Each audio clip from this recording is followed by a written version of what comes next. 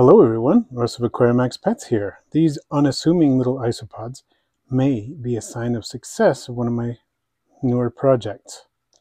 You may have seen a video recently about an attempt to cross Porcellio laevis how now with Porcellio laevis Santa Rita Mountains locality from Arizona, desert adapted form. This was not only to see if we could produce uh, a type descended from how now, but also with a higher contrast, basically the dark gray wild type body rather than the caramel background along with the lighter colors of a how now.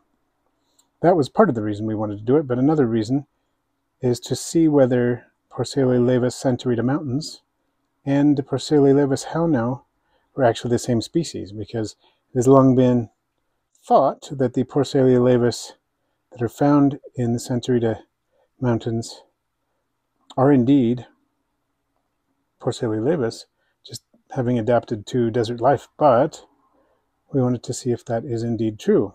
As you also may know, there have been a couple of types of isopod in the hobby that were thought to be Porcellio laevis and turned out not to be, like Porcellio laevis, dairy cow, and milkback.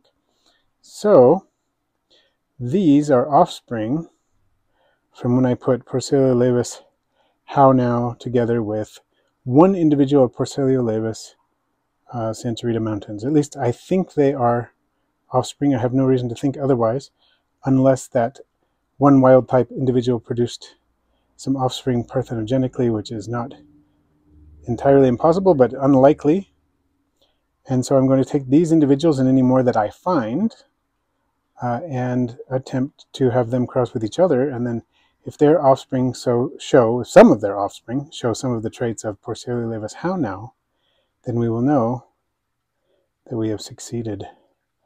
And we can pr proceed accordingly, trying to uh, produce a new form of Porcellio laevis with the dark contrast of the wild type gray and the lighter patterning contrasted, uh, contrasting with the lighter patterning of Porcellio laevis how now. I think that'll be a lot of fun if we can make that happen. Just a short video update on this project. Thanks for watching today. I post videos every Friday with live streams and shorts during the week as well. Please feel free to share, rate, comment if you haven't already. Subscribe. And then tap the bell for all notifications so you don't miss my next video.